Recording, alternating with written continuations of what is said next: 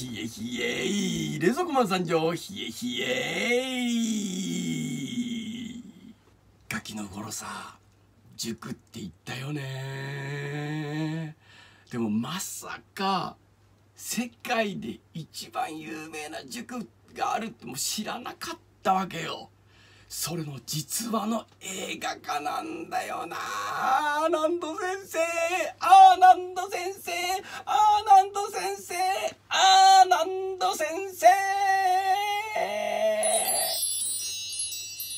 今日紹介する作品はこちら。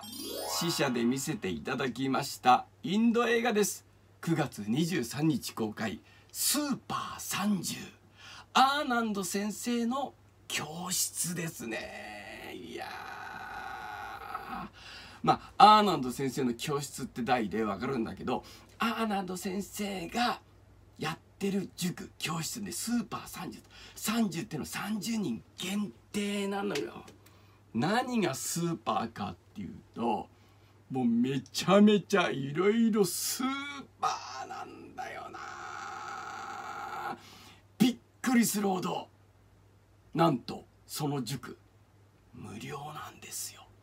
そして家が貧しくなくちゃ入れないという。お金持ちは入れない。いくらお金を積んでも入れない。貧しい人しか入れない。貧しくて教育も受けられない。受けらんないけどもう勉強するのが大好きで大好きで大好きで大好きで才能もある人30人。でインドの最難関というインド工科大学 IIT の受験をするために呼び寄せるだけ。でも呼び寄せるともういっぱいもう宣伝してねいっぱいいろんなとこから来てもう試験をして30人選ぶんだけどまあアーナンド先生の教え方がべらぼうにいいのね。それがその映画になってんだけどねめちゃくちゃいいんだよな。あ概要欄に予告編貼っときますんでそれ見てください。そして見どころ。見どころなんだけどね。アーナンド先生が塾を始める前から始まります。これが波乱万丈なのよ。才能があるから。才能があるからね。いい天国も見るしもう家が貧乏だから地獄も見る。インドって厳しいっていうかもうそこら辺シビアじゃない。金持ちは金持ちですよ。あなたは貧乏でしょう。あなたは金持ちでしょみたいな感じで全然違ってくるわけじゃない。それがまたね地獄だったり天国だったり地獄だったり天国だったりするわけ。この波乱万丈の物語がまず面白い。そしてアーナンド先生天国の状態もお金もいっぱいあってもうこれからも理想の結婚もできるんじゃないかっていう時にふと見た時に道端で勉強してる子供見つけたわけよ。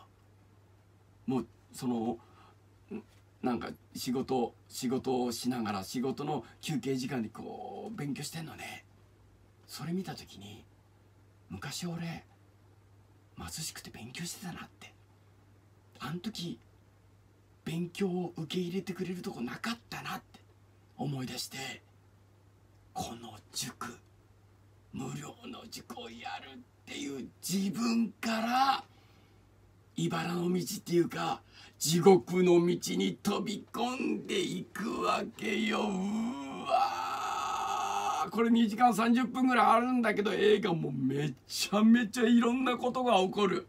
そしてアーナンド先生の今もやっています。今も実際アーナンド先生が教室やってるんですけどその始まる教室始まる前から始めてからそして大学を受けて生徒たちが受かるか受からないかまで全部やるわけよ。それがまあね面白い。めっちゃ面白い。インドのねあの歌とか踊りそんなにとまあ他の作品よりは入ってきません。入ってきません。ああいう風な感じで入ってこないんだけど歌は入ってきますね。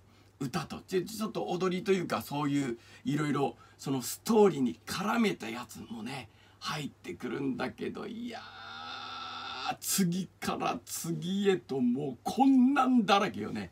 それをどんどんどんどん乗り越えていくというこれもしかしたらね必見かも。うん。もうねストーリー全く説明しなかったけどもう概要欄にねあの横弦貼っとくんでそれ見てください。もうストーリーとか見なくていいかもね。で塾その世界で一番有名な塾の話なんでちょっと硬いかなと思う。全然硬くないから。これ見たらちょっとねなんかいろんな意欲が湧くかも。そしてこのアーダンダ先生の凄さ。まあびっくりしたな。でやっぱりインドってその学歴頭のいい人がそのいい仕事に就くっていうね。だからお金持ちでもそのバカだとダメなのよ。だからいい大学に入るためにもう予備校予備校の商売がすごいわけよ。もういい先生。もう合格率が高くなれば高くなるほどお金持ちがどんどんどんどん自分の息子をもう合格させてくれてどんどんどんどんお金をその入れるわけね。だから予備校のこのインドでは予備校のこの仕事っていうかそういうものがガンガンいっぱいあるわけよ。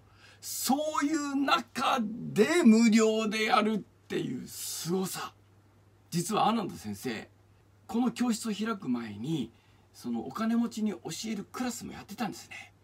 で合格率も上げてるんですよ。でアーナンド先生もそのいっぱい給料とかいろんなものをもらってその裕福になるとか。